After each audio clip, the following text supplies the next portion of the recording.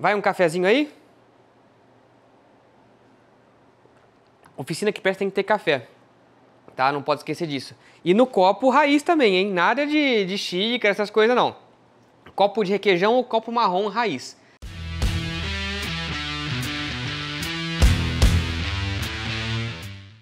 Fala meu amigo, seja muito bem-vindo à oficina do Vitor. Semana passada é, você assistiu o vídeo do, da última parte do Acerto essa DT. Uh, ela estava bem melhor já, ela estava funcionando bem. Só que aí é, eu cheguei em casa e mexi também na, na cuba, você viu eu mexendo na, no nível da cuba. Melhorou também, já ficou um pouco melhor. Só que, cara, ainda não ficou boa, né? Ainda falhava 7,5, esticava um pouquinho mais, mas não, não muito bom. Então, às vezes falava 8 mil, não tava legal ainda. Aí o que, que eu fiz? É, eu falei, cara, eu vou trocar a vela. Eu tenho uma vela de grau 8, eu tava usando grau 9, né? Que a vela da DT é grau 9, tá? É essa vela aqui, ó. Uh, BR9ES, tá? Já vou explicar porque que eu fiz essa, esse risco aqui, ó. Mas aí eu coloquei uma vela de grau 8 e a moto puxou forte, mudou a moto, sabe? E eu fiquei com isso na cabeça. E eu falei, caramba, será que tá com algum problema? O que tá acontecendo, né? Aí eu falei, eu não tenho outra vela 9 para testar, além daquela que já tava usando. É, ela não tá horrível, mas também não tá excelente. Deixa eu pegar ela aqui. Vou mostrar. Essa aqui é 8, essa aqui é 9. Aqui. Olha como que ela tá. Né? Deixa eu ver se eu consigo mostrar de perto. Na luz aqui, ó. Pera aí. Uh, acho que vai dar para mostrar bem. Qualquer coisa eu ponho uma foto na, na hora da edição. É, ela não tá ótima, mas também não tá ruim. Mas assim, tem a chance dela ter vindo com defeito de fábrica, ter vindo com algum problema, né? E aí eu decidi então comprar uma vela é, grau 9, né? Tá aqui, ó. Uh, nova, né? Que é essa daqui. Vai dar certo? Não sei. Eu vou colocar e a gente vai ver a diferença então para vela grau 8 e grau 9 na DT200. Lembrando que está com o escape original, o carburador original, a moto está original, tá? Não tem nada demais. Ela está sem as abas, as abas estão aqui, né? Eu deixei ela é, sem as abas porque, porque facilita para mexer, né? Eu vou vir aqui, ó, vou gravar inclusive mais de perto já é, a troca da vela, a gente vai dar uma volta com ela hoje. Hoje tem bastante coisa, né? Uh, antes de continuar o vídeo, não esquece de se inscrever no canal, ativar o sininho de notificação e comentar aqui, que quem me acompanha sabe que eu, eu, respondo todos os comentários, tá bom?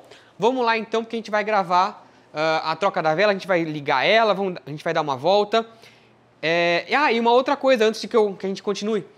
É, esse risco aqui que eu fiz, tá? Ó, esse risco aqui tá alinhado né, com o eletrodo, tá vendo? Por que ele tá alinhado com o eletrodo? eu quero ver se eu consigo colocar é, esse eletrodo, né? Uh, essa parte, deixa eu pegar a vela limpa aqui, né? A nova. Eu quero ver se eu consigo colocar essa parte aqui, que a, a faísca sai, né? Voltada para trás. Por quê? Uh, em alguns motores dois tempos isso faz diferença, eu não sei se no DT faz, tá? Eu quero ver se eu consigo voltar ela para este lado aqui, né? Porque o combustível vai entrar aqui, vai fazer o enchimento, né, vai entrar por aqui, vai para o cárter, aí ele entra por aqui por trás, faz o enchimento, né? A hora que comprime o cárter e tal, o sistema dois tempos, né?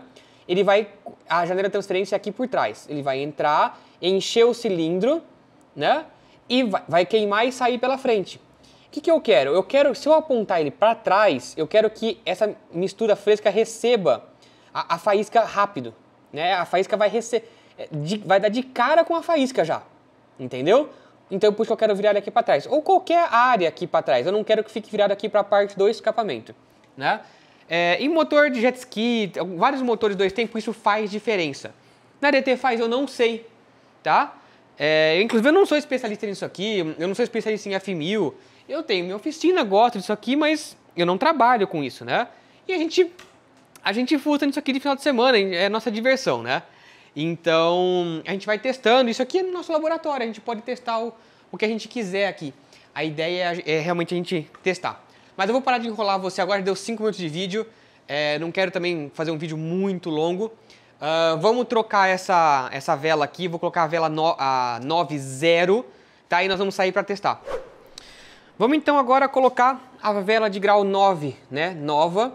Ó, essa aqui é grau 9 e ela tá com um risquinho aqui pra frente, né? Uh, a gente vai colocar aqui, a gente vai tentar deixar esse risco aqui virado para trás. Vamos ver o que, que vai acontecer aqui. É, como a vela é nova, eu acho que a gente não vai ter grandes problemas para colocar, para nada.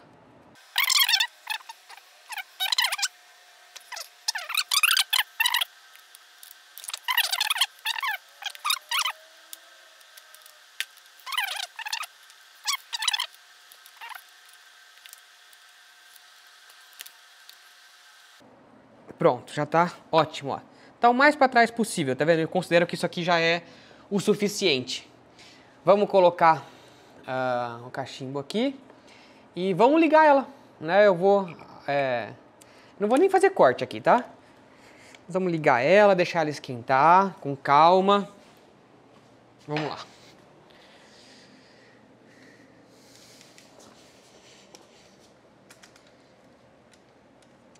Vamos lá, aí. Vamos ver como que ela tá.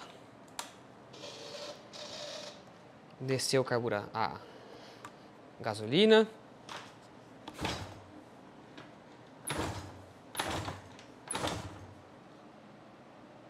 Para não vazar.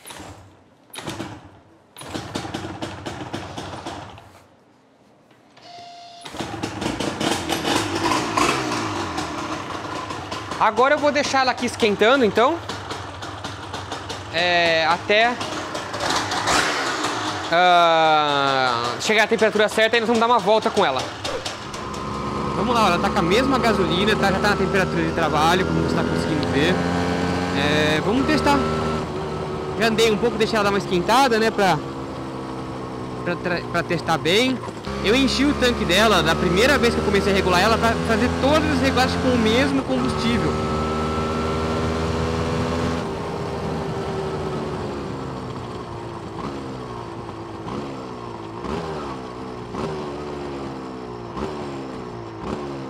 Geralmente eu não fico reduzindo assim, mas eu quero testar ela. Se ela tá caindo o giro certinho. Deixar porta de 1500 ali, ó, vamos ver. Aí. A lenta. Ó, tá subindo bem a lenta. Só uma triscadinha, ó. E se acelerar tudo também. Vamos ver como é que ela tá se comportando agora quente.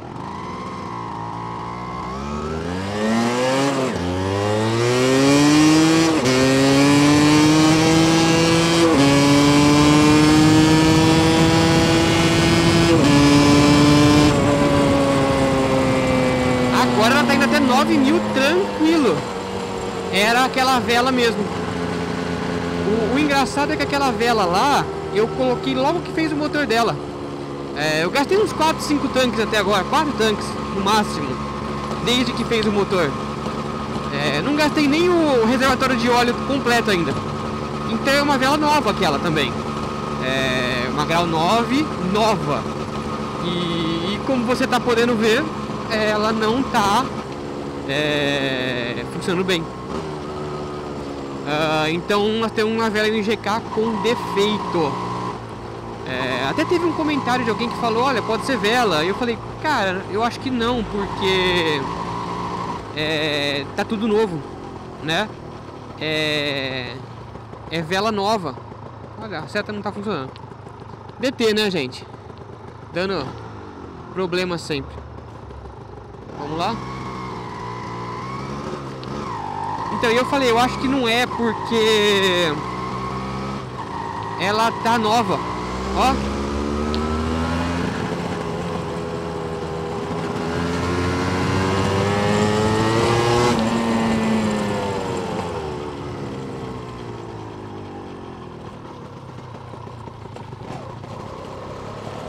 Vou pegar uma subida ali.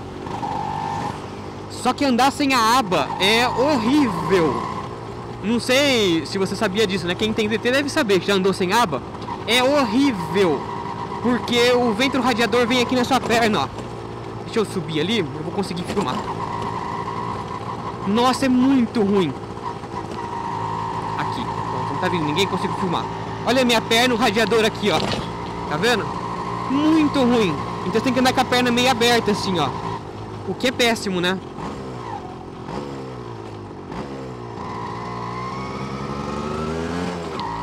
Vamos ver.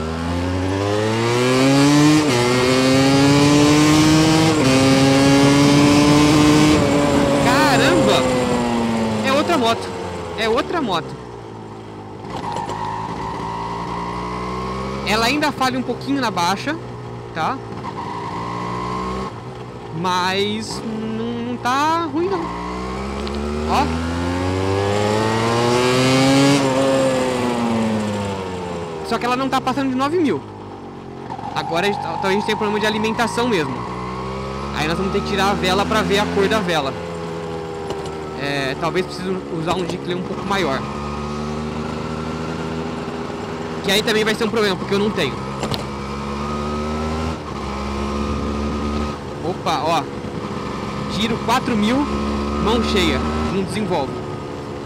Ah, legal. Mas é carburada, né? Então, assim, essas coisas vão sempre vão, vai ter um buraquinho, uma coisinha, né?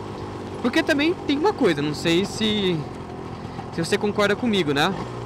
Mas moto carburada, ela é diferente para dirigir. Você precisa é, contar com um pouquinho de destreza para acelerar ela da maneira correta. Não é só dar mão e acabou. Não é injeção eletrônica que ela é, funciona perfeitamente em qualquer rotação.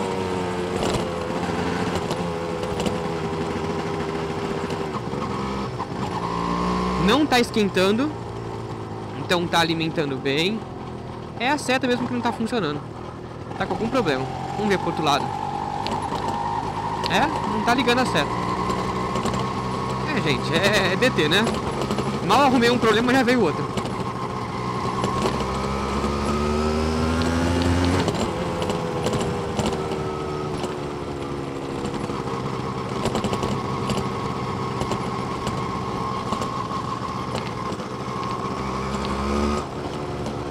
Vamos curtir um pouquinho mais que ela tá, andando muito bem, ó.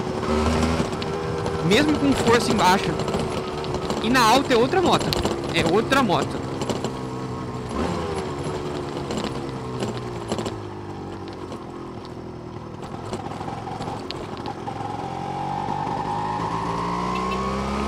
A buzina tá funcionando. O farol alto também. Que não tá funcionando mesmo é a seta. Tem problema.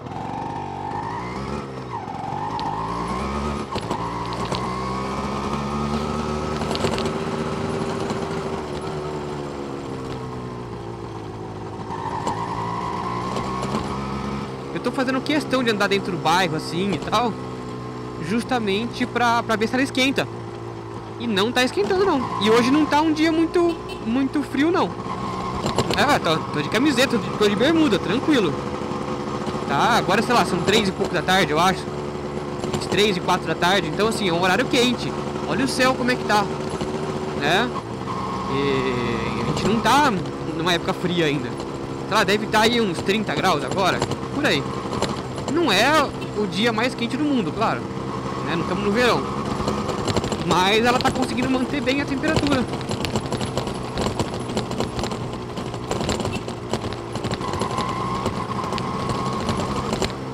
Ótimo, tá perfeito. Ela tá batendo um pouquinho a corrente, tem que esticar. Você deve estar tá conseguindo ouvir o barulho. Seu Nakamura ali, ó, você viu? Só na SLK. Seu Nakamura, ele abandonou a Yamaha DT, agora tá andando de alemão, né? Seu Nakamura tá andando de coisa boa. Abandonou as porcarias.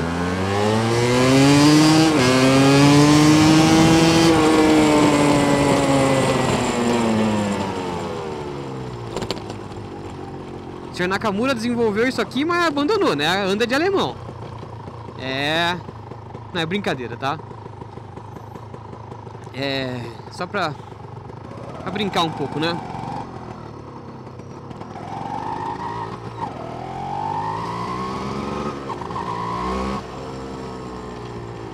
É, aparentemente... Vou pegar uma retinha ali. Espero que ninguém do batalhão esteja pra fora ali, que tem polícia naquela...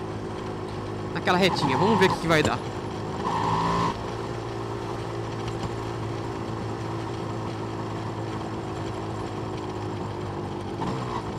Ó, eu tô andando de boa pra ver se ela esquenta mesmo. Não tá esquentando.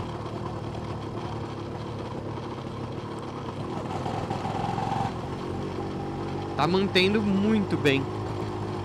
Você tá vendo, eu tô andando... Né, igual... Uma pessoa de 84 anos... É, andaria. Esse cara tá muito devagar.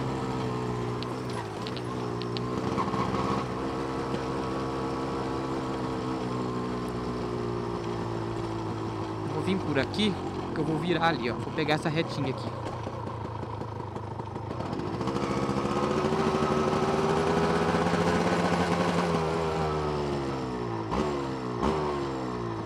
Olha esse ônibus.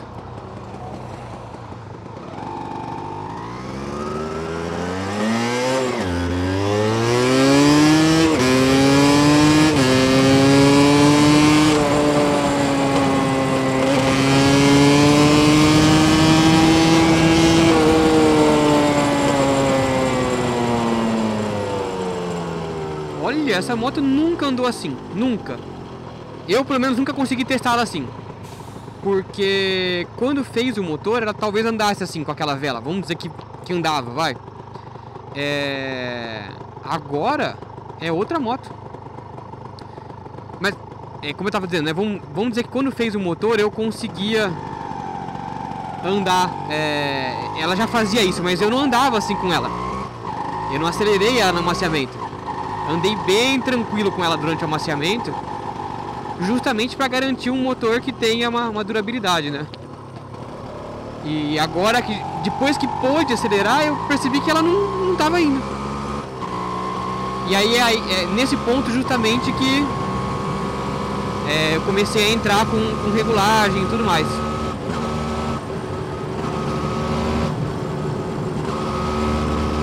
Agora até 9 mil ela tá indo super bem. Nós vamos tirar a vela, nós vamos ver como ela tá. Deixar ela esfriar um pouco nesse vídeo ainda.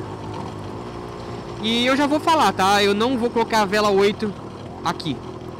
Por quê? Eu vou explicar, você vai entender. É, eu não vou colocar a vela 8 por um motivo muito simples. A, a 9 tá andando exatamente igual. Tá? Não fez diferença. É a, a vela 8. Eu já andei com ela antes, semana passada eu tinha experimentado ela com a vela 8. A vela 8 e a 9 andou da mesma forma. Então eu vou manter a vela 9 um grau um pouquinho mais, é, mais gelado. Uh, tá ótima, tá? É, até falei no começo do vídeo que a gente, ia, a gente ia comparar, mas eu não vou colocar, porque ela andou da mesma forma. É, e assim, no vídeo eu não vou ter nenhum elemento para comparar as duas, sabe? Uh, então, de certa forma, é, eu não vou conseguir nem mostrar para você isso, entendeu? Então vamos manter é, a, a vela 9.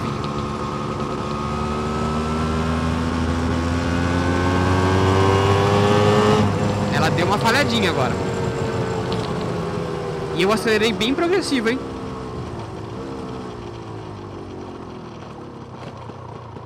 Sabe que tem uma outra coisa? É, é, eu já comprei uma bobina nova pra ela também.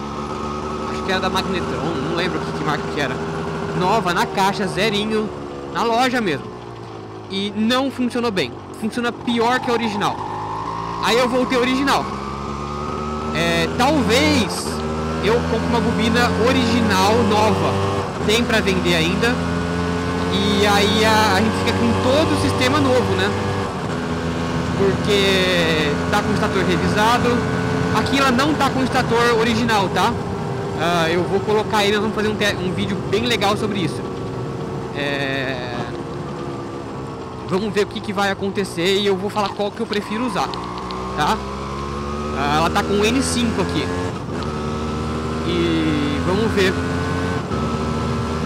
CDI estator N5 aqui. Eu vou colocar depois os originais, né? E para fazer um, um, teste também. Eu quero saber qual que eu gosto mais. Ó, ela tá andando bem. Tá andando bem tranquila. E é o que eu falei, a temperatura estabilizou naquilo ali, ó. Não sobe. Então, aí é, talvez eu fique com todo o sistema novo. O sistema original de, de ignição dela tá para revisão. Então eu fico com bobina nova, tudo novo. Porque aí não tenho como é, falar nada, né? Uh, mas assim, a gente já sabe que essa bobina está funcionando pelo menos bem, porque ela funcionou melhor do que a, a Magnetron nova. Até que eu devolvi a peça na garantia. Aí ela tem força assim, ó. Tô na subida aqui, não tô Tô a 3 mil RPM, ó, na subida.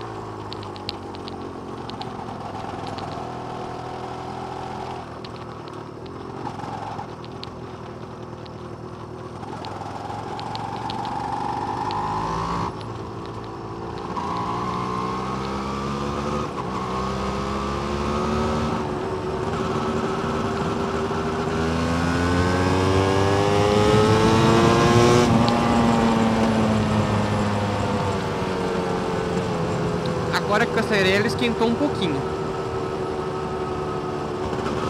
Já tá baixando de novo.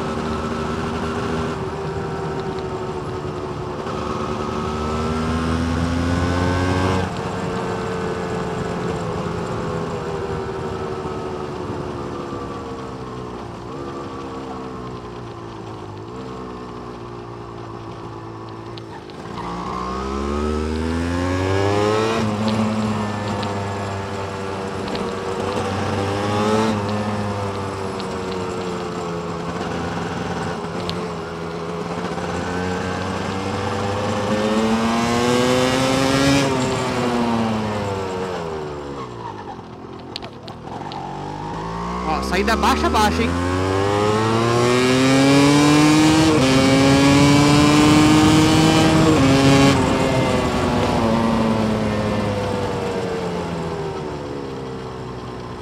Ela tá funcionando bem. Então é, é o que eu falei, eu não vou mais mexer nessa parte de, de vela.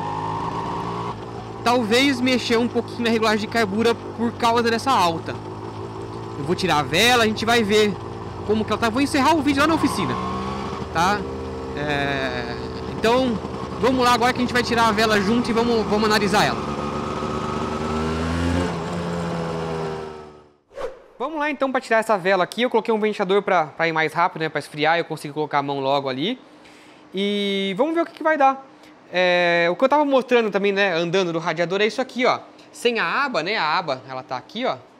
Acho que é essa aqui, essa aqui. Ó, ela fica aqui, né? Tá vendo? E aí eu consigo é, desviar o vento aqui do radiador, tá vendo? Minha perna fica aqui, ela não pega. Sem a aba, vem direto na perna. Então não é muito, muito legal não. Né? Mas tudo bem, não tem nenhum impedimento, assim, é só abrir um pouco mais a perna, colocar ela mais de lado que dá certo. É, eu vou colocar você ali no, no tripé agora, a gente vai tirar essa, essa vela e vamos ver o que está acontecendo.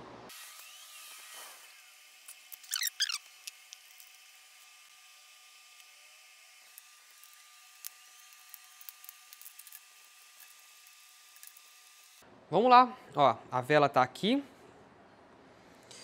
E vamos ver se eu consigo fazer focar na vela. Olha como ela está esbranquiçada. Você consegue ver, né? Bem aqui, ó. Como ela está esbranquiçada. Ó. Ficou com um foco muito bom. Tá vendo? Ela está bem esbranquiçada, ó. Né? E tá com excesso um pouquinho de óleo aqui ainda nessa parte de trás, ó mas o eletrodo dela, tudo, está bem esbranquiçado. Então isso já está indicando para gente que está andando um pouco pobre essa moto, né? É, aqui, ó, por dentro, você percebe que começou a formar uma uma, uma crostinha, né? uma, uma coloração um pouco mais escura, tá vendo? Mas essa parte aqui tá, é, não tá muito legal não eu acho que nessa alta aí poderia dar mais comida para essa moto. Tá? Ela, ela aceita é, mais comida. Uh, isso aqui vai ficar para um próximo vídeo. Tá? É, eu não vou uh, usar agora ela né? Uh, com, com mais comida, nada disso. Vai ficar para um próximo vídeo. Mas comenta aqui embaixo o que, que você acha, como é que, que, que você pensa da DT, se você acha que isso aqui é realmente falta, né? Ó, Tá vendo? Essa vela esbranquiçada, né? É, como eu já tinha... A 8 aqui, ó. A grau 8 já ficou um pouquinho mais preta, tá vendo? Ó, a grau, ainda tá esbranquiçada um pouquinho, ó. Né? Mas olha aqui, ela tá mais escura, tá vendo? Essa aqui é a grau 8, ó. É, comenta o que, você acha, que você, se você tiver alguma experiência com isso, né? É, porque eu já comentei aqui, já falei isso aqui. Uh, nossos vídeos são sobre oficina, tá bom? Não é sobre é, uma DT especificamente. Eu não sou espe é, especialista em dois tempos, tá? Nós estamos aqui mostrando como que é você ter uma oficina, né? Ela está aqui ainda, ó. Né? Nós estamos aqui para mostrar como que é, né? Ter uma uma dois tempos ali, a CBR está ali ainda, a Harley está ali, a Ducati está lá, a, a Sharon está lá, a F1000 está lá para fora. Então a gente é, tem bastante coisa para mostrar. Né? Deixa eu ficar aqui, que aí a gente consegue fazer a finalização. A gente tem bastante coisa para mostrar. E a ideia mesmo do canal é falar sobre oficina, como que é ter uma oficina, como que é você ter isso na sua casa, se você gostar disso na sua casa, né? Então, se você tem uma DT, por exemplo, você vai ter que aprender sobre ela. Demora para aprender, não é uma coisa tão simples. É, mas você vai melhorando. Você viu, é, dois vídeos atrás ela não andava direito. Ela não saía da garagem direito. Uh, agora ela já está, né? Comprei um reparo melhor, já tenho mais experiência com isso. E agora a gente vai acertando ela, tá bom? Então, eu espero que você tenha gostado desse vídeo. Se você gostou, não esqueça de comentar. Todo mundo que me segue sabe que eu respondo todos os comentários, tá bom? É, então espero que você tenha gostado desse vídeo mais uma vez e até, até a próxima.